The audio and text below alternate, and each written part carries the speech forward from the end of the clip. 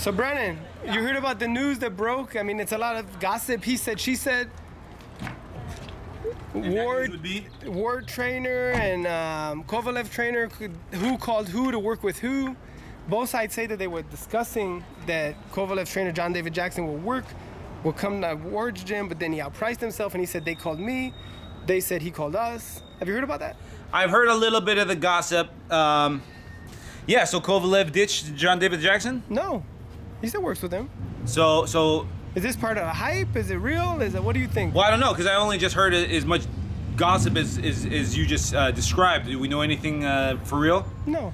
Um, it wouldn't be the first time that people play gamesmanship trying to get somebody from you know uh, uh, uh, your camp into their camp. You know, we've seen that happen before.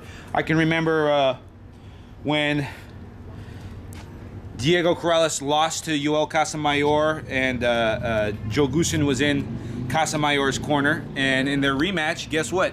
Joe Goossen was in uh, Corrales' corner, and he ended up getting the win. You know, I, I wonder if it Yeah, it contributed to it. I don't know. Could be. It's possible, but But yeah, it wouldn't be the first time that things like ha- that happened. But uh, But, uh, I thought that John David Jackson and Sergey Kovalev were pretty tight, and nobody's as tight as uh, Andre Ward and uh, that's true. uh, his. his But but a lot of people say that Kovalev pretty much trains himself. That's what I've heard.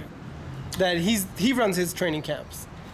Yeah. So look, Kovalev obviously didn't start boxing with uh, uh, John David Jackson. He found him later in his career. The guy obviously already knows how to fight, you know, and, and, and has taken himself through the Russian amateur uh, uh, system into the professional ranks, in which he was doing very successful. And all that Da- John David Jackson or any any pro trainer that gets a fight, you know, late in their career can only uh, uh, work with what they already have, you know. Uh, but it still seemed to be a, a good a good duo.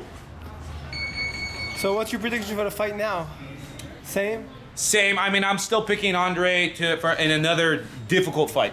All right, there you have it. Brandon Krause. Stay tuned. FusionReport.com. Malik Seckbach reporting.